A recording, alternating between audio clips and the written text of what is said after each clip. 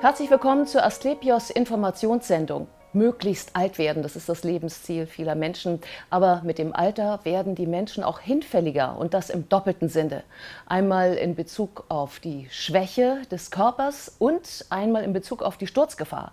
Und um die Folgen geht es heute.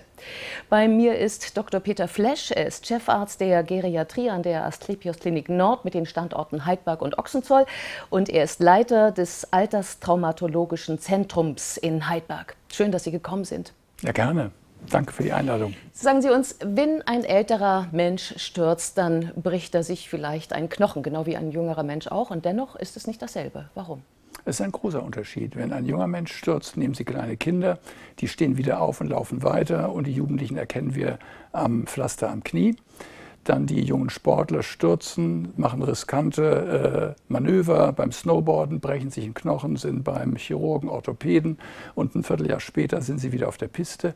Beim alten Menschen ist es aber was anderes. Wenn der alte Mensch stürzt, stürzt er, Sie haben es schon gesagt, wegen der Hinfälligkeit, wegen einer komplexen Situation, die im Alter auftritt, mit Koordinationsstörung, mit Schwäche des Körpers, mit verschiedenen Funktionseinschränkungen, auf die ich nachher nochmal eingehen kann und die äh, dabei auftretenden Verletzungen heilen schlechter, heilen komplizierter. Der Patient hat in der Regel noch Begleiterkrankungen, die auch dazu beitragen, dass der Heilungsverlauf schwieriger ist.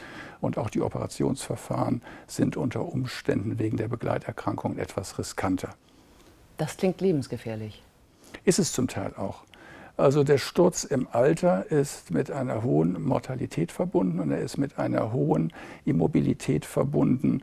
Und äh, oft äh, ist die Folge eines Sturzes äh, nachhaltige Pflegebedürftigkeit, oft auch der Umzug in ein Heim. Das wissen viele Menschen und deswegen haben sie Angst vorm Stürzen. Deswegen haben sie Angst vor dem, was die Zukunft mit sich bringt, werden vorsichtiger, einige werden auch unvorsichtiger. Die Vorsicht führt dazu, dass man weniger geht. Wenn man weniger geht, wird man auch wieder immobiler und die Sturzgefahr steigt. Das ist also eine gefährliche Spirale. Und da gilt es, sich auf diese Herausforderungen im Alter einzustellen, zumal immer mehr Menschen alt werden und die Sturzfolgen äh, einen immer größeren Raum einnehmen, einmal für das Individuum, für die Familie und natürlich auch für die Solidargemeinschaft. Auf all das müssen wir eine Antwort finden und dafür haben wir das Alterstraumatologische Zentrum gegründet. Genau, über das sprechen wir gleich, aber ich habe erstmal die Frage, was heißt denn überhaupt alt? Ist das, reden wir über 90 Jahre oder reden wir über 60 Jahre? Wir reden über das biologische Alter, wir reden über das funktionelle Alter, nicht über das kalendarische. Wir hören zwar, dass wir alle immer älter werden, ich bin mir da nicht so ganz sicher. Es werden immer mehr Leute alt, weil die Medizin eine ganze Menge an Fortschritten mit sich bringt und heute kann auch ein Diabetiker hochbetagt werden. Aber schon zu Ciceros und Sokrates Zeiten wurden die Menschen 70, 80, 90 und auch in der Bibel kann man das nachlesen. Wir haben heute eine ganze Menge Patienten, die sind weit über 90. Wir haben Patienten, die sind in den 100. Wir haben Patienten, die kriegen mit 100 eine neue Hüfte, weil sie eine Coxarthrose haben oder eine Herzklappe ausgetauscht. Das ist machbar.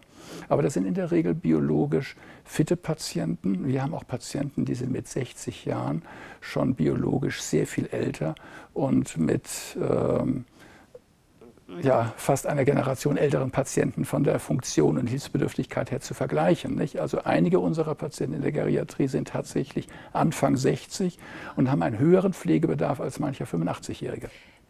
Das ist eine große Spannbreite. Und Sie haben ja auch schon angedeutet, wie viele Krankheiten, Folgekrankheiten, Parallelerkrankungen jemand haben kann, der zu Ihnen kommt, zu Ihnen in Ihr Zentrum.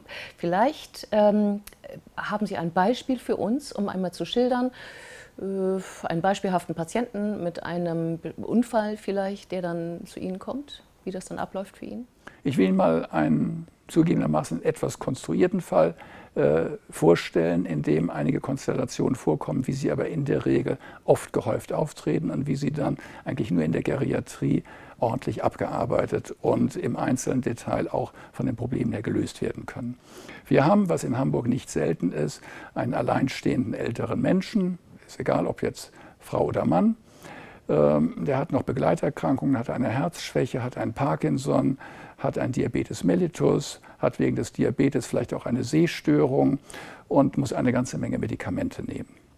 Der stürzt jetzt in seiner Wohnung und kann jetzt eine Weile keine Medikamente nehmen, kann auch nicht trinken. Liegt, weil er da liegt. Weil genau. er da liegt. Weil er, kann nicht genau. aufstehen. Er ist gestürzt mit seinem Parkinson zum Beispiel, liegt in der Wohnung, kann nicht trinken, nimmt seine Medikamente nicht, ruft, wird am Anfang nicht gehört. Der hat Angst, der kommt in Panik.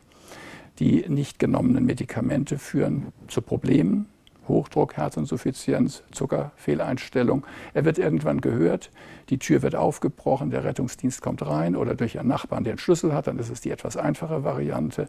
Der Patient wird mit dem Rettungswagen in die Notaufnahme gebracht, zum Beispiel zu uns nach Heidberg. Und da wird dann geguckt, wie dringend ist der Fall, weil manchmal zwei, drei Patienten gleichzeitig kommen. Da wird dann äh, jeder Patient, die Aufnahme ist groß, adäquat versorgt. In diesem Fall würde man ihn mit einer Infusion versehen, man würde ihn äh, Schmerzmittel geben und man würde schauen, wo ist das Problem? Nehmen wir mal an, in dem Fall hat sich eine Schenkelhalsfraktur ereignet. Das lässt sich durch eine einfache körperliche Untersuchung rasch herausstellen. Er wird geröntgt werden. Und dann ist der Chirurg dabei und äh, dann wird man gucken, kann man ihn gleich operieren oder äh, das ist der Idealfall oder muss man etwas warten, weil er zum Beispiel blutgerinnende, äh, blutgerinnungshemmende Mittel einnimmt, wegen eines Herzinfarktes, Schlaganfalls, einer Herzklappe oder was auch immer. Man muss also vorher noch ein umfangreiches Labor machen, wird dabei feststellen, dass die Elektrolyte vielleicht etwas entgleist sind durch das Liegen, die Nierenfunktion sich verschlechtert hat, die Gerinnung äh, noch einige Gegengaben von Medikamenten erforderlich machen, um operieren zu können. Und die Operation verzögert sich um ein paar Stunden. Oder der Patient hat gegessen, ist also nicht nüchtern. Aber auch da haben die Anästhesisten eine passende Antwort drauf. Und äh, der Patient wird dann anschließend nach diesen Vorbereitungen in den Operationssaal gebracht. Der, die Fraktur wird versorgt mit einem Gammanagel zum Beispiel oder mit einer Endoprothese. Anschließend kommt der Patient in den Aufwachraum. Danach wird der Patient ähm, im äh, Bereich der Chirurgie einige Tage, ein, zwei Tage ähm, behandelt und kommt dann sehr rasch in die Geriatrie, damit wir hier mit einer frühfunktionellen Behandlung anfangen.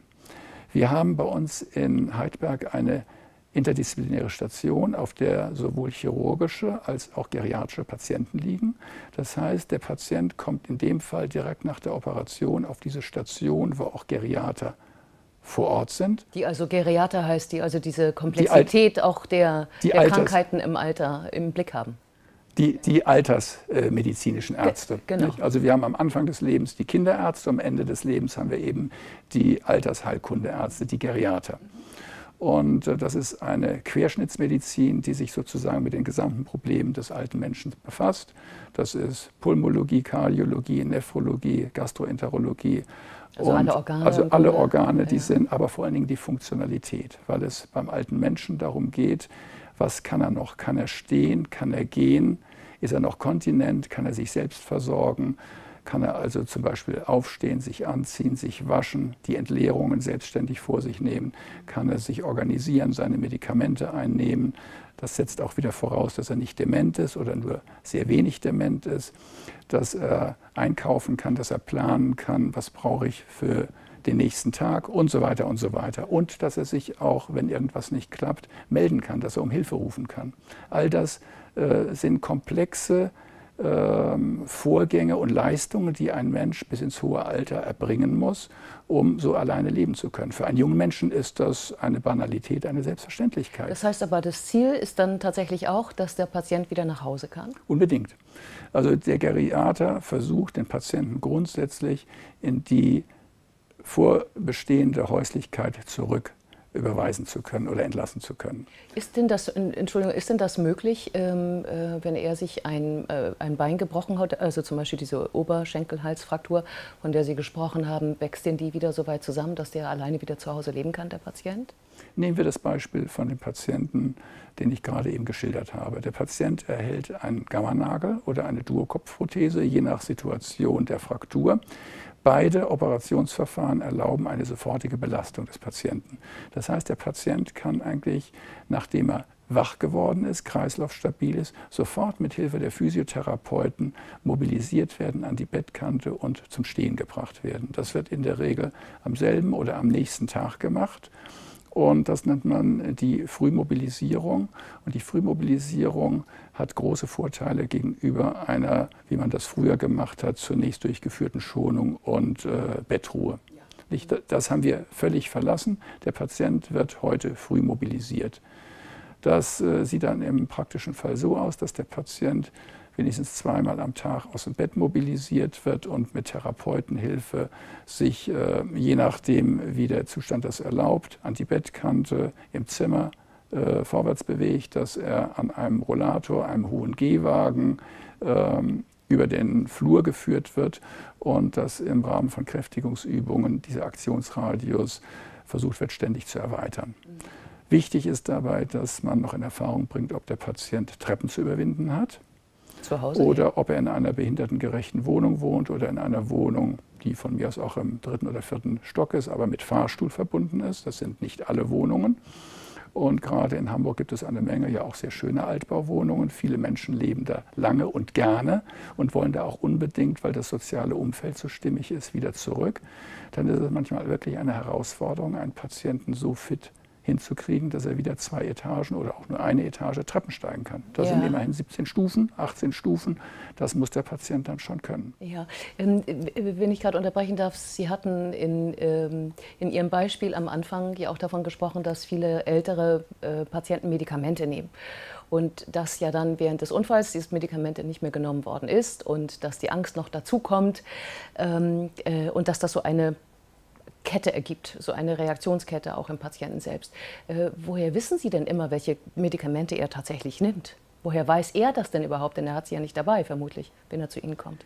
Was Sie da ansprechen, ist ein ganz komplexes Thema.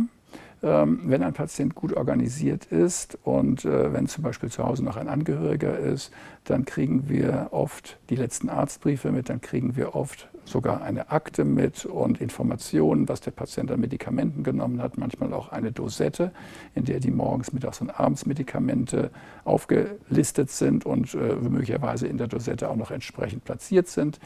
Manchmal haben wir auch einen äh, Dosierplan der Medikamente morgens, mittags, abends und dann noch die entsprechenden Medikamente, äh, die ähm, vom Hausarzt verordnet worden sind oder die seit dem letzten Krankenhausaufenthalt gegeben werden.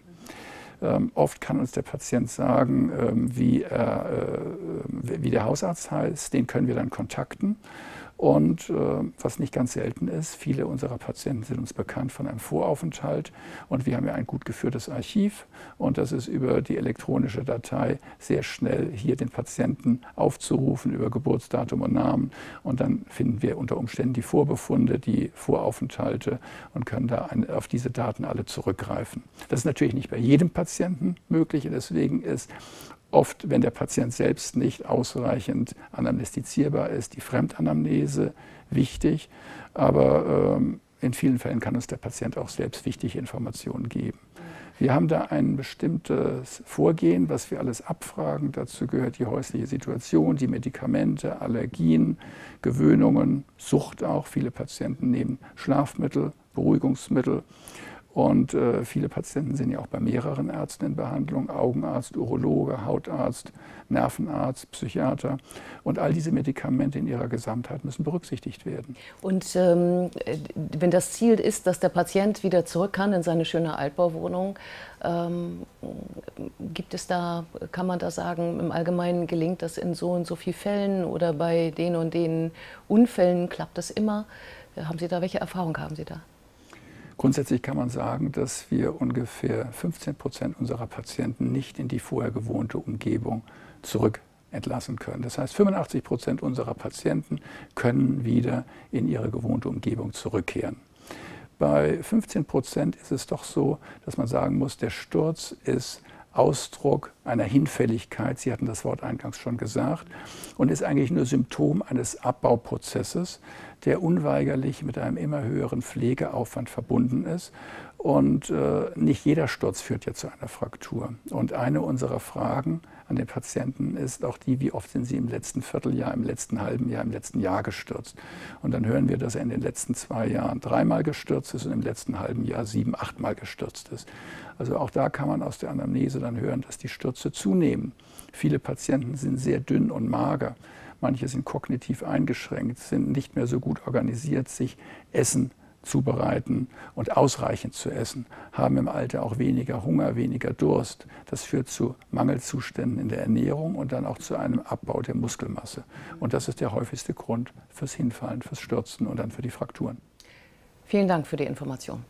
Ich hoffe, auch Sie haben sich gut informiert gefühlt und wir sehen uns wieder auf www.asklepios.com-nachtvorlesungen oder auf YouTube. Bleiben Sie gesund.